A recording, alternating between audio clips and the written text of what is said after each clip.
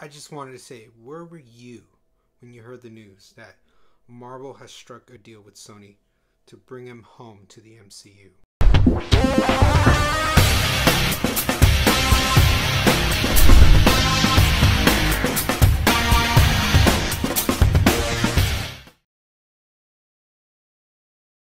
Spider Man Homecoming is gladly, I lost track, 15, 16, 14, 17 installment in this MCU universe where this is the first Spider Man in the Marvel Universe. Feels so great to say that. A reboot of a reboot, but the first time in that we had the Sam Raimi directed ones, we had the Marc Webb ones, now we have these MCU ones. We had Tom Holland introduced to us as the new guy for Civil War. He was good in that for the little bits and pieces he was there from introducing his in his home to fighting with the rest of the Avengers in that amazing airport scene. So I wanted to see how can he live up? Can he have his own movie? He felt the essence of Spider-Man in that, but give us a two-hour length film to see if he can rival Andrew Garfield's great Spider-Man or Tobey Maguire's great Peter Parker, or, and can it be a hybrid of two amazing things? No pun intended. And I can honestly say that this movie was so fun. This movie was a great welcoming for Spidey into this world. So glad to see him interact with everybody else. Having like Iron Man be sprinkled into here and whatnot. So for those idiots that were thought it was actually Iron Man Homecoming, except for those that were joking, it truly wasn't. But having him interact with him as like a fatherly figure was so so refreshing, so fun to watch. When you say fun, to quickly elaborate, you don't give that as a pass for a movie that is good or not good.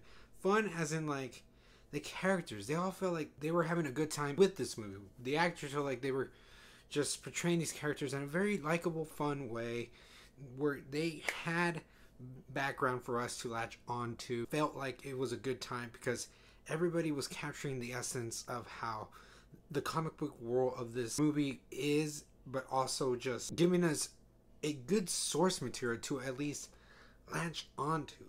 There's several ways to describe fun, but in a way, that's why I can describe fun for this movie. Sure, I would love to see more of a relationship like what goes on with Peter and May, as he refers to her here, which is kind of cool, seeing how she really doesn't need that aunt title. Like, like, come on. So I wanted to see more of that because we've seen that in the other ones, but I know they kind of want to make it different here and not try to rehash some of the other things. But maybe in Spider-Man: Homecoming 2, they'll do something like that. But seeing him with Tony, that was good. Having him juggle, just go back and forth with high school and super responsibilities. This one did it really good. I, like seeing the scenes where he's about to go go do Spider-Man duties, and then he sees that he's leaving the high school life behind for a second. He kind of regrets it, but then he needs to go. Then when he's Spider-Man, he just he he aspires to be something better, even though people are telling him you're good what you're doing but it's that mission it's that story it is that coming to age for not for a kid in high school but becoming spider-man. But seeing what it means what your responsibilities are at your age. I feel like it was very clear delivering the message how he wants to do two things. He needs to be doing something.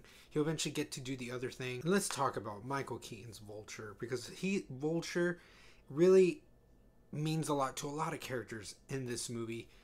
One of the best MCU villains. This is just so crazy to see. For me, started kind of with the trend with like Zemo in Civil War, seeing how he got with the Avengers, then seeing Ego channel Star Lord in Guardians of the Galaxy, and now seeing him, how what he means for this world, for Spidey's life, for Iron Man's life.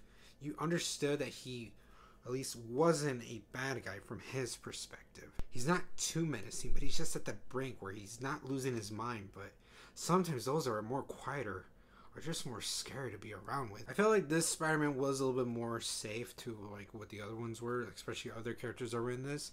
This felt more really more modern, but still it it felt something classic, but also something modern, and it it did it good in my opinion but I feel like as a Spider-Man tone, the theme it was very more light. Whether it's the relationships, the like the conflicts, what Peter has to deal with. Overall, Spider-Man: Homecoming is just a refreshing take of this character.